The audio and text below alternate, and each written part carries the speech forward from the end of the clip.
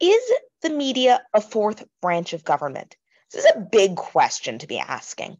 We're just going to consider little pieces of it today. So, the three branches of government we know they're the legislative branch, Congress, the executive branch, the president and the bureaucracy, and the judicial branch, the Supreme Court and the lower federal courts. So these three branches are written in the body of the Constitution, created by the Constitution. The press is not. However, the press is protected by the Fourth Amendment, sorry, Fourth, First Amendment to the Constitution. Apologies. The First Amendment to the Constitution. And that protects freedom of the press. So it could be a fourth branch in that it is protected by the Constitution. Now, it can also serve to check those first three branches, right? It can tell us, hey, Congress isn't doing what they said they were going to do. The president isn't keeping his campaign promises. The court is leaking this um, ruling that might overturn Roe v. Wade, which ultimately the leaked ruling was the ruling that came out of the court in Dobbs. So the press can report to us on the three branches of government, and potentially that can keep them in check right? The three branches of government are going to do things if they know the media is going to report on them as really bad things. So they need to be careful to think about what the public is going to hear and through the media. Therefore, that can be a check on those three branches. Now, the First Amendment provides really broad protections. Libel laws, prior restraint laws, time, place, and manner restrictions all are written in favor of the press but they are still laws that, in some ways, limit the press. So we can see that the government can keep the press in check, at least to an extent. So we can see that the press, while not explicitly a fourth branch of government, is protected by the Constitution, like the original three branches, and can check the three branches and be checked by the three branches, again, at least to an extent.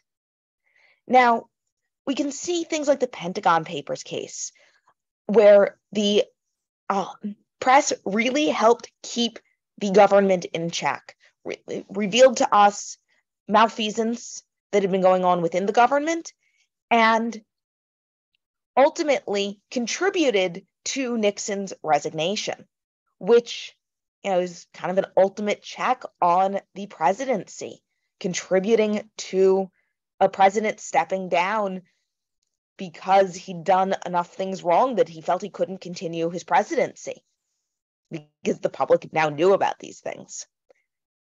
But this isn't unlimited, right? Uh, there are cases where the government can check the press right back. Now, this again suggests that the press, the, me- the news media is a fourth branch. But it may be fundamentally entwined with the government in a way that suggests it's something else. The news media is very, the news, I apologize, is very much a joint production between the news media and politicians. This can actually lead to a prisoner's dilemma in that politicians absolutely need the press in order to access us, the public, right? To get their message out to voters. But the press need politicians because they need to cover the stories, cover what politicians do. Without politicians, there's no news to report. So we see that they need each other, but they also can't trust the other one. The news media wants gotcha stories. They want to report bad things that politicians have done because we're more likely to read those stories, right? We're not as likely to read the everything's great. Politicians are meeting their campaign promises. But we are going to read how this politician really broke a promise, right? That's something that's more compelling to an average reader, um, to really anyone. So we are going, so the press is going to want gotcha stories, to want stories that make politicians, that cast politicians in a negative light. Politicians, of course, don't want that, right? They want the exact opposite. They want good stories, stories that cast them in a positive light. So politicians can restrict access, can say to the news, no, we're not going to let you report, right? We're, we're not going to let you in. We're not going to release, we're not going to have press conferences, or we're going to exclude you from press conferences. Now, for the most part, that can't be done.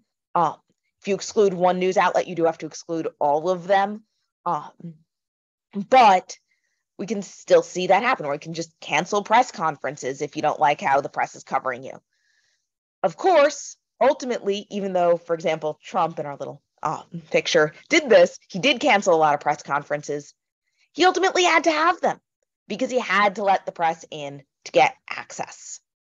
So the politicians can't trust the media to report on them positively, but they do need the media.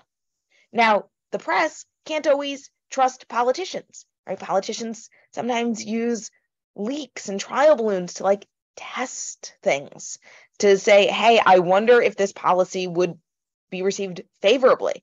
But then if it isn't, they're not going to keep going with the policy. So the press can sort of be like, wait, should we be reporting on this if maybe it's not even going to go anywhere? We might look stupid, right? So the press can't always trust politicians or giving them enough access are letting them in on stories they need and are not sort of misleading them in some way, trying to throw them off the scent of a story that would be would get more ratings but look worse for the politician. So this is a classic prisoner's dilemma. They need each other, but they can't trust each other. And because of this, we end up with news as really less of an objective record and sort of a full check on the other branches and more of a particular representation of facts and events. Of course, we know that each branch can't perfectly check another branch, right? The Supreme Court um, kept checking President um, Franklin Roosevelt on his New Deal programming, and ultimately he threatened a court packing plan. And then, because of a lot of retirements and deaths, were, was able to put a lot of his own nominees on the court and ultimately, they started supporting him. So we can see that this is not dissimilar from the relationships between the other branches. So, is the media a fourth branch? S- still an open question that we can consider and make arguments maybe for both sides of it, yes and no.